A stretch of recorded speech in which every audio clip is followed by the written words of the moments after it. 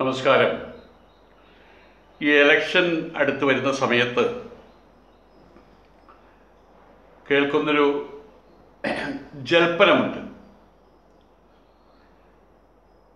മുഖ്യമന്ത്രിയായിരിക്കുന്ന പിണറായി വിജയൻ കള്ളക്കടത്ത് നടത്തി എന്നുള്ളതാണ്. സ്വർണക്കടത്ത് നടത്തി ഖുറാൻ കള്ളക്കടത്ത് നടത്തി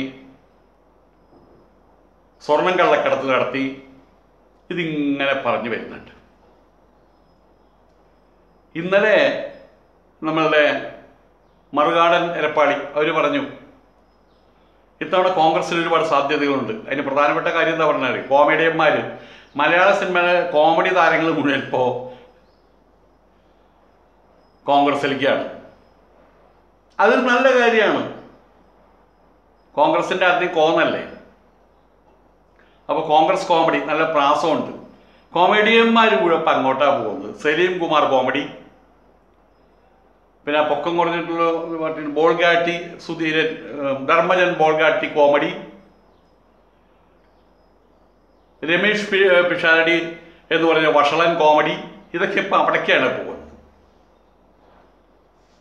അതൊക്കെ അതിലാകട്ടെ അത് ഇലക്ഷന്റെ ഇലക്ഷൻ വന്നു കഴിഞ്ഞാൽ ഇവരുടെ ജൽപ്പനം പിണറായി വിജയൻ കള്ളക്കടത്ത് നടത്തി സ്വർണ കള്ളക്കടത്ത് നടത്തി സാമ്പത്തിക തിരിമറികൾ നടത്തി.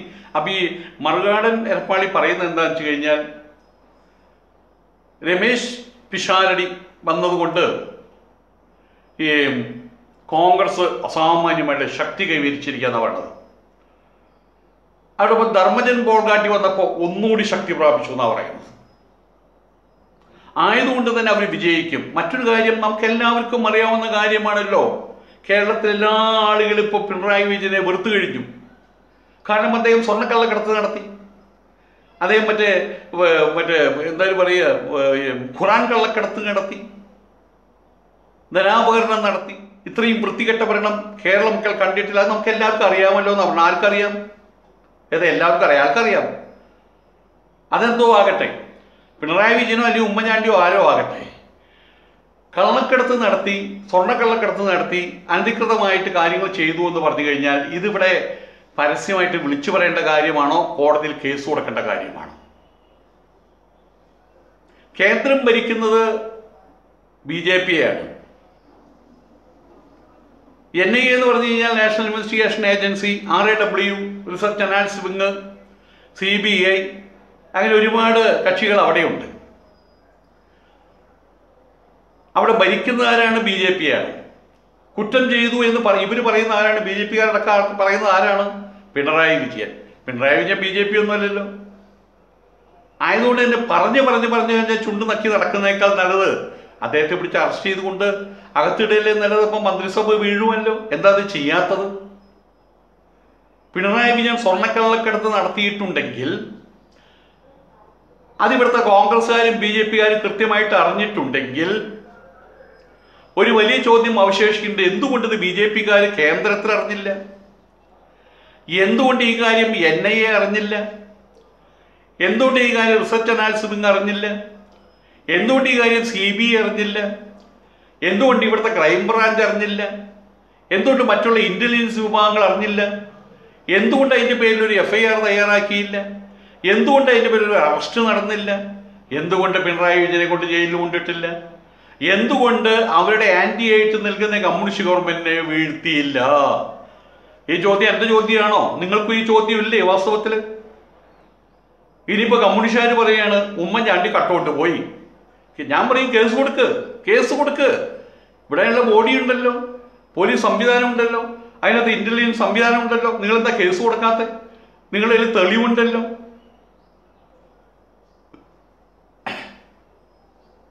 ഞാനൊരിക്കൽ പുത്തൻകുരിശ് എന്ന സ്ഥലത്ത് താമസിക്കുന്ന സമയത്ത് അവിടെ ഒരു ക്രിസ്ത്യാനി ആളത്തി മദ്യപിക്കുന്ന ടൈപ്പൊക്കെയാണ് കുറച്ച് പണക്കാരനൊക്കെയാണ്.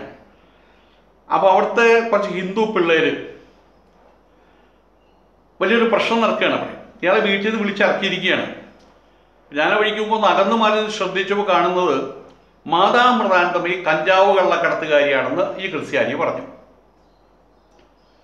ഉടനെ തന്നെ പിടിച്ച് അയാളെ വലിച്ചു താഴ്ത്തി കൊണ്ടുവന്നിരിക്കുകയാണ്. മാതാമൃതാനന്ദമയി കള്ളക്കടത്ത് കഞ്ചാവ് കള്ളക്കടത്തി നടത്തിയിട്ടുള്ള സ്ത്രീയാണ് എന്നുള്ള താങ്കളുടെ അറിവ്. അതിന് ഞങ്ങൾ സ്വാഗതം ചെയ്യുന്നു. പക്ഷേ നമുക്ക് എല്ലാവർക്കും കൂടി ഇപ്പോൾ പോലീസ് സ്റ്റേഷൻ പോയിട്ട് ഈ കാര്യം പറയണം. കാരണം അങ്ങനെ ഒരാൾ ഇന്ത്യയെ നശിപ്പിക്കുന്ന രീതിയിൽ കള്ളാവ് കഞ്ചാവ് അങ്ങോട്ടും ഇങ്ങോട്ടൊക്കെയും ഈ കഞ്ചാവ് മാത്രമല്ല ലഹരി മരുന്നിന്റെ വിൽപ്പന അങ്ങോട്ടും ഇങ്ങോട്ടും നടത്തിയിട്ടുണ്ട് എന്ന് നിങ്ങൾക്കൊരു അറിവുണ്ട്. എന്തിനാണ് നിങ്ങളിത് പൂഴ്ത്തി വയ്ക്കുന്നത് പോലീസ് സ്റ്റേഷനിൽ നടക്കുന്ന ഈ കാര്യങ്ങൾ പ്രശ്നമായി. ഇരുകൂട്ടരും അവിടെ സമ്മേളിച്ചു. ആർക്കൊന്നും പറയാനില്ല. മാതാപ്രധാനമായി കഞ്ചാവ് കള്ളക്കടത്ത് നടത്തി എന്നുള്ള സ്റ്റേറ്റ്മെന്റ് ഇയാൾ പിൻവലിച്ചു തരും. അയാൾ പതിനായിരം വട്ടം പിൻവലിച്ചത് ആരും അറിഞ്ഞില്ല. അയാൾ കരയാൻ തുടങ്ങി.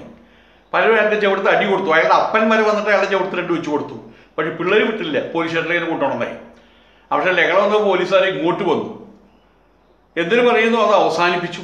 അതങ്ങനെ അവസാനിപ്പിച്ചു. പിന്നെ അയാൾ മിണ്ടിയിട്ടുണ്ടാവില്ല. ഇതുപോലെ ഇവിടെ പിണറായി വിജയൻ ഈ കള്ളക്കടത്ത് നടത്തിയിട്ടുണ്ടെങ്കിൽ ധനാപകരണ കാര്യങ്ങളിൽ ഇടപെട്ടിട്ടുണ്ടെങ്കിൽ രണ്ടാം നമ്പർ ബിസിനസ് കൂട്ടത്തിൽ നടത്തിയിട്ടുണ്ടെങ്കിൽ അത് അത് അത് കൈകാര്യം ചെയ്യേണ്ടത് അതിന്റെ അതിന്റെ വകുപ്പുകളാണ് കൈകാര്യം ചെയ്യേണ്ടത് കോടതിയാണ് കൈകാര്യം ചെയ്യേണ്ടത്. ഇനി മറ്റു മറ്റൊരു കാര്യം അതിന് ഞങ്ങൾ അങ്ങനെ കൈകാര്യം ചെയ്തിട്ട് കാര്യമില്ല എന്ന് പറയുകയാണെങ്കിൽ അതും തെറ്റാണ് കാരണം കേരളത്തിൽ മാർക്സിസ്റ്റ് കമ്മ്യൂണിസ്റ്റ് കമ്മ്യൂണിസ്റ്റ് കമ്മ്യൂണിസ്റ്റുകാരാണ് ഭരിക്കുന്നത് ഇടതുപക്ഷം ഭരിക്കുന്നത്. കേന്ദ്രത്തിലും ഇടതുപക്ഷമാണെങ്കിലൊക്കെ ഞങ്ങൾ ഇപ്പോൾ ഇതിനകത്ത് സത്യം ഇതൊക്കെയാണെങ്കിൽ പോലും ഒരു കേസിനായിട്ട് ഒരുങ്ങി പുറപ്പെട്ടിട്ട് യാതൊരു കാര്യമില്ല കാരണം ഇവിടെ ഒരു പ്രശ്നം ഇവിടെ ഇവിടെ എന്തൊരു പ്രശ്നം ഉണ്ടായാൽ അവരും ആ പ്രശ്നം ഉണ്ടാക്കുന്നവരാണ്. രണ്ടുപേരും ഒരേ പാതയിൽ പോകുന്നവരാണ്. ഇവരവർക്ക് പിന്തുണ കൊടുക്കുന്നുണ്ട്. ആയതുകൊണ്ട് നമ്മൾ ഈ കാര്യത്തിൽ ഇറങ്ങി തരുന്ന തിരിച്ചു കഴിഞ്ഞാൽ നമ്മൾ നാണം കെടുമെന്നല്ലാതെ ഒരു നേട്ടവും ഉണ്ടാകാൻ പോകുന്നില്ല എന്ന് പറയുകയാണ് ഈ ശരി. ഇത് അതല്ലല്ലോ സ്ഥിതി. ഇവിടെ വിളിച്ചു കൂവിയോണ്ട് നടക്കുകയല്ലേ? മറ്റേ ബി ജെ പിക്കാർ വിളിച്ചു കൂവിയോണ്ട് നടക്കുകയല്ലേ? പിണറായി വിജയൻ കള്ളനാണെന്ന് പറഞ്ഞ് നടക്കുകയല്ലേ? അപ്പൊ അവരോട് ചോദിക്കുന്ന ചോദ്യമുള്ളൂ തിരിച്ച് ഇത് ബി ജെ പി ഈ രീതിയിലാണെങ്കിൽ തിരിച്ച് ബി ജെ പിക്കാർ കള്ളമാരത്ത് അവർക്കും പറയാം. അതിനൊരു അടിസ്ഥാനം വേണ്ടല്ലോ. അതിനൊരു തെളിവ് വേണ്ടല്ലോ. ഇതിങ്ങനെ അന്യോന്യം തെളിവാരി എറിഞ്ഞ് നടക്കുന്നത് മാത്രം മതിയല്ലോ. പക്ഷെ എനിക്ക് പറയാനുള്ളതാണ് നിങ്ങൾ ഈ കാര്യത്തിൽ എന്തെങ്കിലും ആത്മാർത്ഥതയുണ്ടെങ്കിൽ? ആ ആത്മാർത്ഥത കാണിക്കേണ്ടത്. ഈ ഫേസ്ബുക്കിൽ വന്നോ യൂട്യൂബിൽ വന്നോ അല്ലെങ്കിൽ തെരുവ് പ്രസംഗങ്ങളിൽ കൂടിയോ ആളുകളെ നാറ്റിക്കാനും അപഹസിക്കാനും വേണ്ടി നടക്കുന്നതല്ല. കാരണം കേരളത്തിൽ അത് നടക്കില്ല.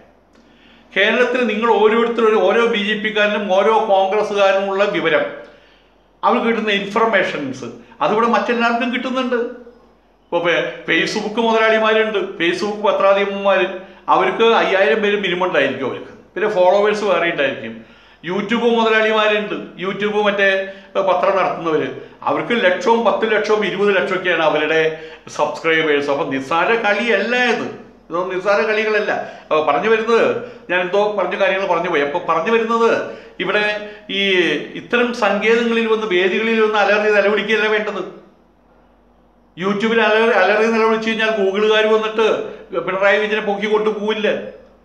തെരുവിൽ നിങ്ങൾ എന്നിട്ട് ആക്രോശിച്ചു കഴിഞ്ഞാൽ തെരുവിലുള്ള ആൾക്കാർക്ക് പിണറായി വിജയൻ അറസ്റ്റ് ചെയ്യാനുള്ള അവകാശമില്ല. അയാൾ നിങ്ങളൊരു കാര്യം ചെയ്യും. ഇന്നിപ്പോൾ ബി ജെ പി ആണല്ലോ ഭരിക്കുന്നത്. ബി ജെ പി എന്ന് പറഞ്ഞു കഴിഞ്ഞാൽ കോൺഗ്രസ് എന്ന് പറഞ്ഞു കഴിഞ്ഞാൽ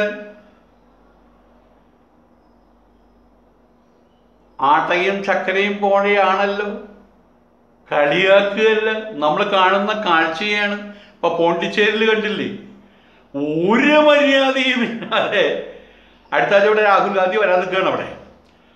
ഈ കഴിഞ്ഞ ഇന്നലെ ഇരുപത്തിനാല് മണിക്കൂർ മുമ്പ് അവിടെ ഉറച്ച സ്തംഭം കണക്കെ മറ്റേ മറ്റേ ഈ സ്തംഭം നാട്ടുക എന്ന് പറഞ്ഞു കഴിഞ്ഞാൽ അതിനകത്ത് വെള്ളം ഒഴിച്ച് കുത്തിക്കളച്ച് വീണ്ടും ഇളക്കി വീണ്ടും കുത്തിക്കളച്ച് അങ്ങനെ സ്തംഭം ആന ചവിട്ടിയാലും ഇളകാത്ത രീതിയിൽ ഉറപ്പിച്ചു നിർത്തുന്ന കോൺഗ്രസ്സുകാർ അവിടെ ഉണ്ടായിരുന്നത്. അവരുടെയാണ് മന്ത്രിസഭ ഉണ്ടായിരുന്നത്. രാഹുൽ ഗാന്ധി അവർ അഭിസംബോധന ചെയ്താൽ ഡേ വരുന്നു പറഞ്ഞ സമയത്ത് ഒറ്റ രാത്രി കൊണ്ട് ഇവരെല്ലാവരും ആരോ പറഞ്ഞല്ലേ? അവൾ നാഗവല്ലിയായി മാറി. എന്ന് പറഞ്ഞ ബി ജെ പിക്കാരായിട്ട് മാറി. അപ്പൊ എന്ത് കോൺഗ്രസ് എന്ത് ഗാന്ധിസം? എന്തോ കിട്ടി കിഴികണക്കിന് കിട്ടി. അല്ലെങ്കിൽ കിഴി കിട്ടുന്ന ഉറപ്പായി. അതുകൊണ്ട് കിഴി വാങ്ങിച്ചു വെച്ചു. മറ്റേ കിഴി കിട്ടാതിരിക്കാൻ വേണ്ടിയിട്ട്. ഉടനെ തന്നെ അവർ രാത്രിക്ക് രാത്രി. രാത്രിക്ക് രാത്രി അവർ അതിന് അതിന് യാതൊരു പ്രിൻസിപ്പിളും ഇല്ല ഒന്നുമില്ല. രാത്രി രാത്രി കൂടെ എടുത്ത് ചാടി. ഇന്നിപ്പോൾ അവിടെ ബി ജെ പിയുടെ ഗവൺമെന്റ് വരാൻ പോവാണ് അവിടെ. ഇതാണ് സ്ഥിതി. അപ്പോൾ ശരിക്കും പറയുന്നത് വെച്ച് കഴിഞ്ഞാൽ ബി ജെ പിയിൽ നേരിട്ട് പോയിട്ട് ജയിച്ചു കയറുന്നേക്കാൾ നല്ലത് കോൺഗ്രസ്സുകാരനായിട്ട് നിന്ന് ജയിച്ചു കയറിയിട്ട് നല്ല പൊസിഷനിലെത്തി.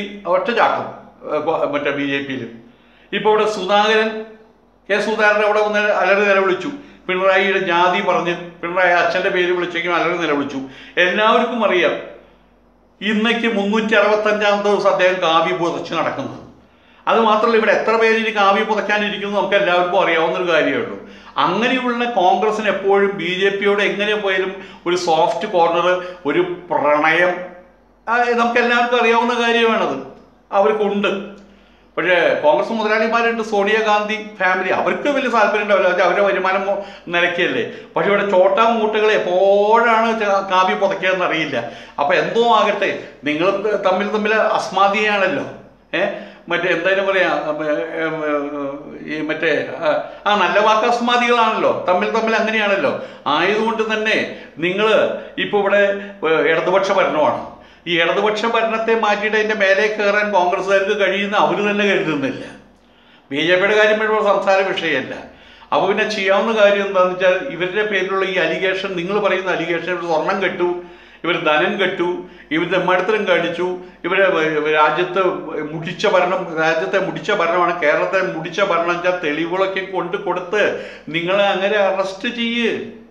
നിങ്ങൾ എന്തിനാ ഈ തെരുവിൽ പറഞ്ഞു കിടക്കുന്നത് നിങ്ങൾക്ക് നിങ്ങൾ ചെയ്യാൻ ശേഷിയുണ്ടായാൽ കോൺഗ്രസ്സുകാരൻ അല്ലെങ്കിൽ ബി ജെ പിക്കാരൻ നാടൻ ഭാഷ പറഞ്ഞാൽ ഒറ്റയ്ക്ക് തന്ത ഒറ്റ തന്തയ്ക്ക് ജനിച്ചവരാരെങ്കിലും ഉണ്ടെങ്കിൽ പിണറായി വിജയനെതിരെ നിങ്ങൾ കൊണ്ട് കേസ് കൊടുക്ക്. കോടതിയിൽ കൊണ്ട് കേസ് കൊടുക്ക്. ഫയൽ ചെയ്യ്. അതിൽ തെളിവുകളും കൊണ്ട് കിടക്ക് എന്നിട്ട് ബബ്ബ പറഞ്ഞ് നടക്കുകയല്ല വേണ്ടത്? മറ്റേ വലിയ വായിൽ ആക്രോശിച്ചുകൊണ്ട് നടക്കുകയല്ല വേണ്ടത്? ഇവിടെ നിങ്ങൾ തന്നെ പറഞ്ഞു തന്തയുടെ കാര്യം തന്തയുടെ കാര്യം ഇടയ്ക്കിടയ്ക്ക് വിളിച്ചു പറയുന്നുണ്ട് പിണറായിയുടെ കാര്യം. ആ മുണ്ടയിൽ കോരന്റെ മകനാണ് അങ്ങനെ മുണ്ടയിൽ കോരന്റെ മകൻ തന്നെയാണ്. പക്ഷെ നിങ്ങൾക്കത് വിളിച്ചു പറയുമ്പോൾ സുഖം. ഏതായാലും ഞാൻ എപ്പോഴും പറഞ്ഞ പോലെ അങ്ങനെ മുണ്ടയിൽ കോരന്റെ മകനാണ്. അഥവാ അങ്ങേര് അങ്ങേരുടെ അച്ഛൻ മുണ്ടയിൽ കോരനാണ് അങ്ങേക്കൊരു അച്ഛനുണ്ട്. അത് മുണ്ടയിൽ കോരൻ മാത്രം തന്നെയാണ്. അതിന്റെ പ്രഭാവം അദ്ദേഹം കാണിക്കുന്നുണ്ട്. നിങ്ങളോടൊരു ചോദ്യമേ ഉള്ളൂ. നിങ്ങൾക്ക് ഇതുപോലെ ഒറ്റ തന്തയുണ്ടെങ്കിൽ തന്ത ഒരെണ്ണമാണെങ്കിൽ നിങ്ങളൊരു കാര്യം ചെയ്യ്. നിങ്ങൾ പോയിട്ട് ഈ മറ്റേ എന്തായാലും പറയുക മറ്റേ അവിടുത്തെ സ്വർണം കള്ളക്കടത്ത് നടത്തി ഖുറാൻ കള്ളക്കടത്ത് നടത്തി ആ മറ്റേ ഡിപ്ലോമാറ്റ് ബാഗ് കൊണ്ടുവന്ന് അവിടെ തരികട കാണിച്ചു എന്നുള്ളതിന് തെളിവും കൊണ്ട് നടക്കുകയാണെങ്കിൽ പക്ഷെ ആ തെളിവ് ഈ തെളിവ് അവരുടെ കേട്ടോ. അതിന്റെ രേഖകളും മുഴുവൻ എന്റെ കയ്യിലുണ്ട് എന്ന് പറഞ്ഞല്ലോ പണ്ട് നന്ദപടി ശങ്കരാടി. അതാവരുത് ആ രേഖയാവരുത് നിങ്ങൾക്ക് യഥാർത്ഥ രേഖയുണ്ട്. നിങ്ങൾ കാര്യം ചെയ്യും. നാളെ തന്നെ കൊണ്ടുപോയിട്ട് അത് വേണ്ടുന്ന ആളുകൾ സബ്മിറ്റ് ചെയ്തിട്ട് പിണറായി വിജയനെ കൊണ്ട് ജയിലിനകത്തിയിട് ഇവിടെ നിയമം എല്ലാവർക്കും ഒരുപോലെയല്ലേ? അത് കഴിയില്ലെങ്കിൽ നിങ്ങൾ ഈ കാണിക്കുന്നതിന് രണ്ടാം തരം മൂന്നാം തരം പ്രവൃത്തി എന്നാ പറയുള്ളൂ. അത് രാഷ്ട്രീയക്കാർക്ക് നല്ല ആർക്കും കൊള്ളുന്ന ഒരു പ്രവൃത്തിയല്ല. ഇങ്ങനെ നാറ്റക്കേസ് മാത്രം പറഞ്ഞ് കിടന്ന അവസാനം നിങ്ങളുടെ തന്നെ വായ നാറും. നിങ്ങളുടെ തന്നെ തൊള്ള നാറും. കാരണം കാലത്ത് വൈകുന്നേരം വരെ ഇവിടെ കോൺഗ്രസ്സുകാരും ബി ജെ പിക്കാരും പ്രധാന പരിപാടി എന്താണ്? ഇടതുപക്ഷത്ത് കുറ്റം പറയുക. ഇത് ഓ രാജഗോപാൽ വളരെ കൃത്യമായിട്ട് പറഞ്ഞിട്ടുണ്ട്. നിങ്ങൾ ആ പെണ്ണ് സപ്നയുടെ പുറകിലും സരിതയുടെ പുറകിലും പിന്നെ വേറെ പെണ്ണ് അതിന്റെ പുറകിലാണ് നിങ്ങൾ കിടന്ന് നടക്കുന്നത്.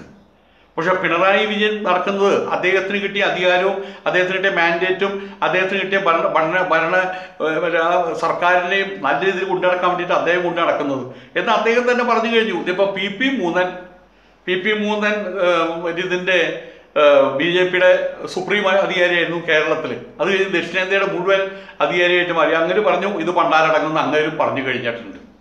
ആയതുകൊണ്ട് തന്നെ അവസാനം പറയാനുള്ളത് നിങ്ങൾക്ക് എന്തെങ്കിലും ആണത്വമുണ്ടെങ്കിൽ നിങ്ങൾ ഈ ഇത് പറഞ്ഞു നടക്കാതെ പിണറായി വിജയനെതിരെ നിങ്ങൾ വേണ്ടുന്ന സ്ഥലത്ത് കൊണ്ട് കേസ് കൊടുത്ത് അദ്ദേഹത്തിനെ അറസ്റ്റ് ചെയ്ത് ജയിലിൽ കൊണ്ടിടും. എന്നിട്ട് ഈ മന്ത്രിസഭയെ ഈ ഗവൺമെന്റിനെ വീഴ്ത്താൻ നോക്ക്. അതാണ് നിങ്ങൾ ചെയ്യ- ചെയ്യേണ്ടത്.